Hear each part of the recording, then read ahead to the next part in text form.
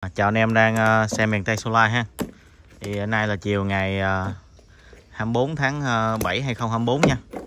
Thì pin uh, uh, lưu trữ là cái loại mà anh em rất là quan tâm bên kênh mình.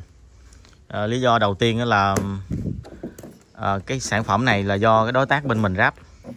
Mà anh em quan tâm là đối tác bên mình không biết ráp như thế nào, vận chuyển như thế nào, có bị cấn mốp gì không Có nguy hiểm gì không và có gọi là kỹ lưỡng không? Đó bên mình làm việc thì như anh Ben biết rồi còn này đối tác làm cho nên là ờ, anh em cũng hơi lo.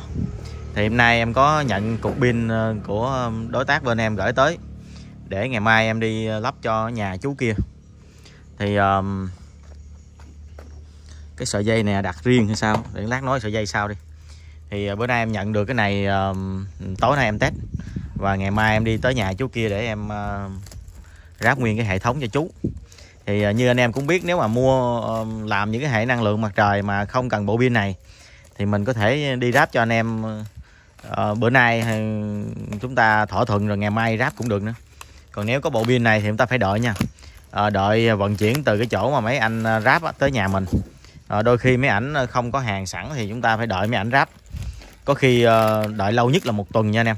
Còn nhanh nhất là 3 ngày đó thì ờ, chứ không mình không không có sẵn cái này ở nhà nha. Tại vì bộ pin nó rất là đa dạng.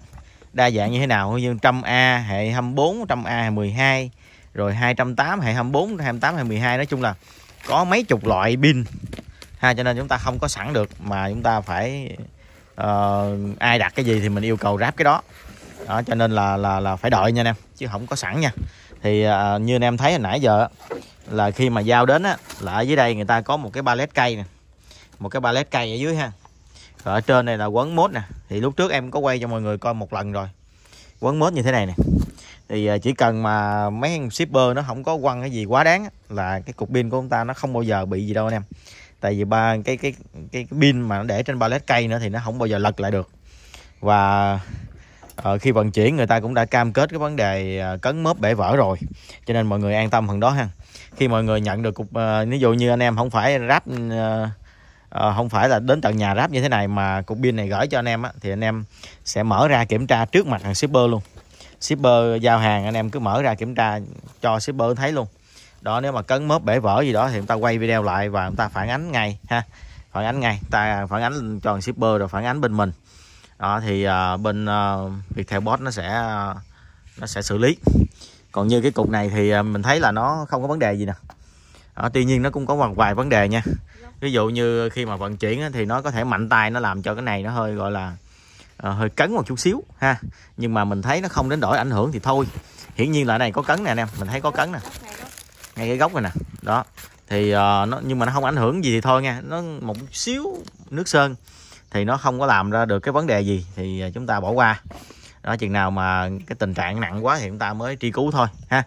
Ở đây mình giới thiệu cục pin này là cục pin hệ à, 52V Ờ, à, ráp mạch à, 52V 100A ha.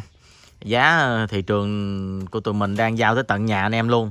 Nghĩa là bên bên đối tác của mình nó giao tới tận nhà anh em luôn thu là uh, 14 triệu mấy hay là 15 triệu mấy gì đó anh em. Lúc trước giá pin mà lên cao là 15 triệu ba. Mình nhớ là như vậy đó. Còn giá xuống thấp là nó là 14 rưỡi còn có lúc giá pin cao ngất ngưỡng luôn là 16 triệu nha. Thì uh, khi nào anh em mà cần mua thì uh, cứ nhắn cho mình rồi mình báo giá ha. Chứ còn bây giờ mà nói giá trước cũng không được nữa. Nó phải tùy thời điểm nha nó phải tùy thời điểm. Như cục này là nằm 15 triệu mấy nè. Đó thì ờ, thời điểm với lại tùy vào loại pin nữa với lại tùy vào những cái yêu cầu mà mình đặt ra nữa. Ha mình yêu cầu phải có thêm thêm thêm này kia thì nó sẽ mắc tiền hơn. Thì uh, anh em muốn như thế nào thì chúng ta có thể uh, uh, yêu cầu ha chúng ta có thể uh, nhắn bên mình rồi mình báo giá. Thì uh, như anh em thấy là một cái thùng một cái thùng uh, sắt nha một thùng sắt. Ở đây có hai cái quai sắt nè quai bên đây và quai bên đây. Đó, để hai người ờ, đi á mọi người. Rồi ở đây là hai cái trạm để lấy điện ra nè. Bộ pin này là này, trời ban đêm tối rồi mình quay nó hơi tối anh em thông cảm nha. Bộ pin này là 52V 100A thì nó lắp cái mạch 16S và cân bằng ha mạch à, uh, BMS có giao tiếp với điện thoại luôn nha. Có giao tiếp với điện thoại luôn và mạch uh, cân bằng. Ở đây uh, dùng cái um, mặt đồng hồ hiển thị nè mình set lên cái nó lên không? Nó không lên nha nè chúng ta phải bật cái nút này nè. Đấy. Đó, khởi động cái nút này lên. Thì nó cháy màu đỏ nè khởi động nút khởi động anh em.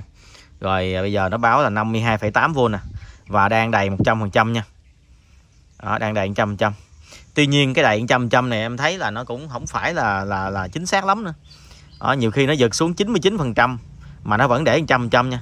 Chừng nào nó giật xuống khoảng 95% kìa nó mới mới mới mới thay đổi cái số 100 trăm này. Có nghĩa là nó có sai số nha anh em. Em xài nhiều cục pin rồi em thấy nó có sai số chứ không phải là à, nó giật xuống một phần trăm là nó sẽ báo liền mà là nó giật xuống khoảng 10 phần trăm nó mới báo mới báo là giật xuống. Thì đây 52,8V là nó chưa đầy đâu. 52,8V là nó chưa đầy nha nhưng mà ở đây nó vẫn báo là đầy 100 trăm rồi thì à, nói chung là đồng hồ này có sai số. Đó hôm bữa giờ em cũng khảo sát mấy cái rồi. Đây là nút nguồn nè còn đây là màn hình nè. Đó. À, tắt màn hình nè bật màn hình nè ha. Rồi ở đây là hai cái trạm để chúng ta gắn cái um, uh, cái dây kết nối với biến tần nè. Thì uh, để tiết kiệm chi phí thì uh, mấy anh bên ráp này ảnh ráp mạch không có giao tiếp nha. Không có giao tiếp nha anh em còn giao tiếp phải thêm mấy triệu nữa rất là đắt đỏ. Thì chúng ta ráp mạch không giao tiếp có nghĩa là cái này gắn vô uh, biến tần bằng hai cái đầu lấy điện này. Không có cái cổng uh, giao tiếp với biến tần nha. Không có giao tiếp với biến tần. Đó để cho nó rẻ lại. Và ở trên những cái biến tần mà xịn sò như lắc như là Dio á à, thì chúng ta sẽ cài ở chế độ à, à, bình ắc quy ha. Độ bình ắc quy. Chứ chúng ta không có xài à, biến tần có giao tiếp à, à, lưu trữ có giao tiếp. Đó, lưu trữ giao tiếp thì cái này nó, nó nó sẽ không có giao tiếp được đó, ta ở chế độ bình axit. Đây. thì à, cái con này nó nặng đâu đó cũng nhiêu nhiêu ký? Năm sáu chục ký không? Cũng tầm tầm năm sáu chục ký anh em. Còn cái bộ mà 280A hôm bữa là nặng ngoài 100 kg 130 kg nè còn cái bộ này thì mình nghĩ là 5 60 kg thôi. Đó thì uh, nó là 100A hệ 52V giá bán thì anh em uh, có thể liên hệ ha tầm uh, từ 14 rưỡi cho tới 16 tùy thời điểm. Đó, tùy thời điểm nha anh em như cái cục này mình nhớ không lầm là hôm bữa mình báo là giao tới tận nhà khách hàng luôn. Là 15 triệu ba nè. Giao tới tận nhà khách hàng luôn nha. Đó, là 15 triệu ba. Còn cái sợi dây này thì mình nghĩ là là không biết là nó lúc lúc trước có không? À, không có nè. Cái dây này mình yêu cầu thêm nha anh em. Mình mua thêm.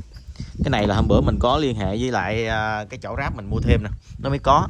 Chứ à, chỗ ráp nó sẽ không có tặng ta sợi dây này. Tặng dây này có bốn trăm mấy á mọi người. Dây xịn sò nha dây rất là xịn nha. Hàng đồ sẵn hết luôn á. Nói chung là có sợi dây đó thì mình sẽ đỡ tốn công làm sợi dây nữa. Đó, anh em mua thì liên hệ nha. Nó dao động từ à, 14 mấy cho tới 15 mấy nha. Tùy thời điểm. Đó, cái nút tắt này giờ tắt làm sao đây? Đè vô hả? Có có khi ở ờ, đè vô nhấn giữ khoảng vài giây nha. Có khi là anh xài CB CB bật cái xong còn này là xài nút nút, nút đè nha à, khi mà mở thì chúng ta đè một cái thôi. Mở đè một cái thôi. Còn chúng ta tắt á, thì chúng ta đè hơi lâu ha. Tắt thì đè đây mình đè thử anh em xem.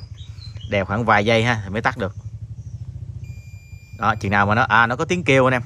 Ta đè tới chừng nào mà nó kêu tít tít á, thì nó nó nó sẽ tắt ha. Rồi thì à, mặt hàng này à, anh em muốn bảo hành một năm thì giá khác bảo hành 6 tháng giá khác bảo hành một tháng giá khác.